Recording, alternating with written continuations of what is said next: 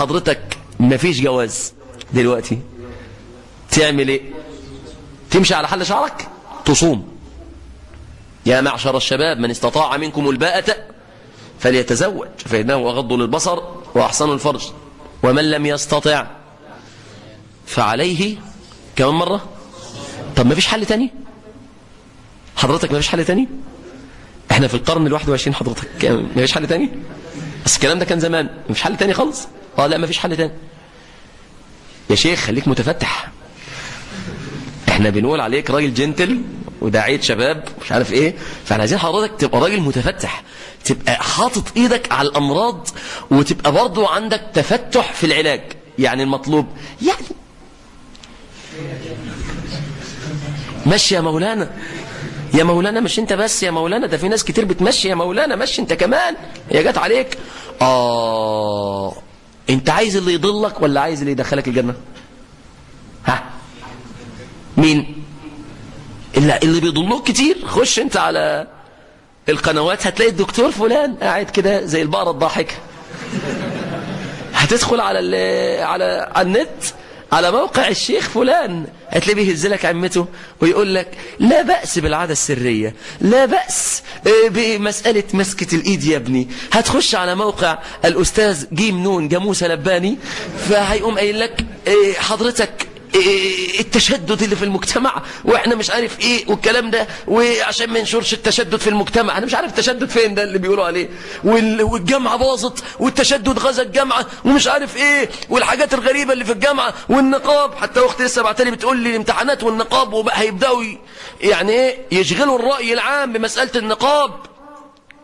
سبحان الله أنا مش عارف إيه اللي واجعهم قوي؟ إن واحدة ولا اتنين أو تلاتة أو عشرة يخشوا منتقبات. ما مليون واحدة بيخشوا عاريات بيخشوا يا ابني.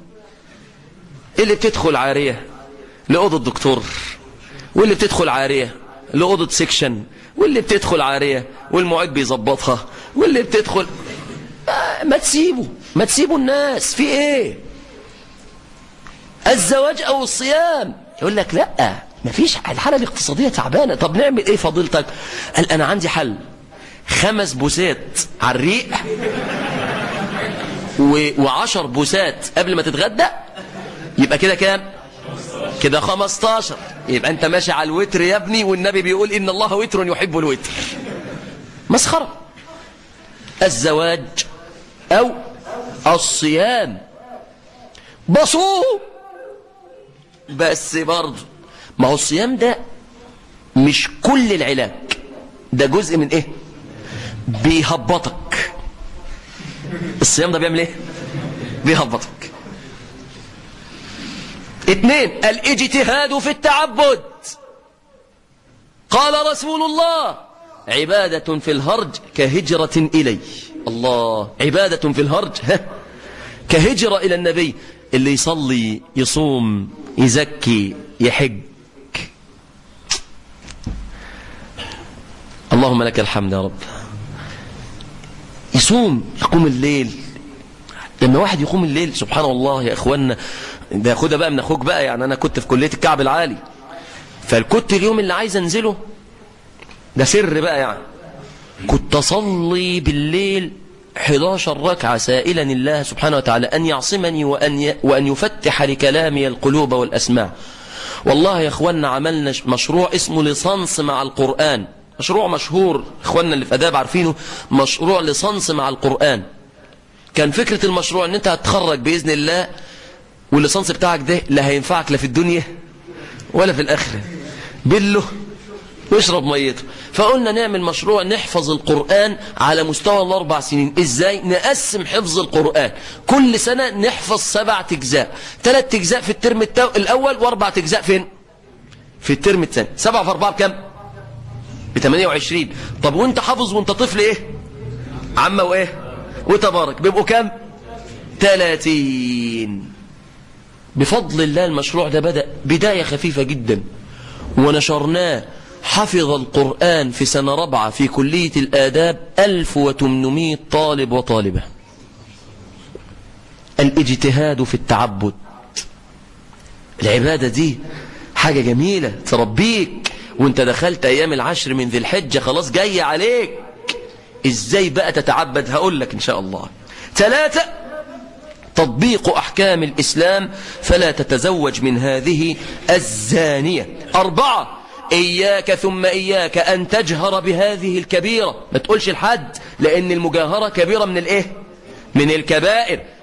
وإياك ثم إياك أن تجهر بالسوء لا يحب الله الجهر بالسوء من القول إلا من ظلم. اوعى تشتم حد وتقول له يا كذا. ليس المؤمن بالطعان ولا اللعان ولا الفاحش ولا البذيء. ثم إياك وإشاعة الفاحشة في الذين آمنوا. اوعى تجري بعربيتك ورا البنات. اوعى تسمع أغاني فيديو كليب. اوعى تمشي مع شلتك في الشارع وتسمح لهم إن هم يفكروك بالماضي بتاعك. فكل هذا يجعلك تعود مرة أخرى إلى الزنا. ثم عليك أن تجتهد غاية الاجتهاد على إحياء خلق الغيرة عندك وعند الناس. تسمعوا عن سعد بن عبادة؟ تسمعوا عنه؟ بيقول والله لو رأيت رجلا مع امرأتي لقتلته بالسيف غير مصفح. عارفين السيف التلم؟ أقعد كده أقتل فيه. فالنبي عليه الصلاة والسلام قال أتعجبون من غيرة سعد؟ والله لأنا أغير من ووالله لله أغير منا. دلوقتي الجنتلة إن الأب يمشي مع إيه؟ الست هانم بنته. الست هانم بنته ماشية في الشارع ما شاء الله. لا قوة إلا بالله. والراجل يقول لها امشي يا بنت امشي. سيري على بركة الله. سيري. إيه يا ابني اللي أنت بتعمله ده؟ هذا لا يجوز. ثمانية لا تسمح لأحد أن يدخل بيتك بغير إذنك. تقول لي ده صاحبي زميلي الأنتيم. زميلك مش أنتيم ولا حاجة رجل أجنبي. لا يجوز أن يدخل بيتك بغير إذن. ده أختي بتكلمه وبتسأله. آه خلي بالك بقى كم من مصيبة حصلت بسبب الوقوع في إيه؟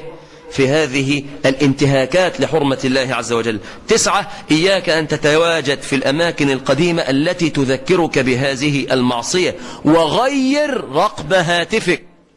غير رقم هاتفك. ولا تعطه إلا لرجل مؤمن يتقي الله. عشرة عليك بغض البصر. وإياك والخلوة والاختلاط ومس المرأة الأجنبية. فهذا كله مما يثير الشهوة. 11 أعطي لنفسك أملا إن تبت أن تكون من المغفور لهم حتى لا تيأس فإنه لا ييأس من روح الله إلا القوم الكافرون. 12 اجتهد ألا تسمع صوت امرأة وهي ترققه وإياك أن تسمع امرأة تنعت أخرى أو تصف أخرى لك حتى لا تستثار من ناحية هذه المرأة. 13 إياك أن تسافر إلى بلاد الكفار. لا يجوز السفر إلى بلاد الكفار إلا بإحدى ثلاث.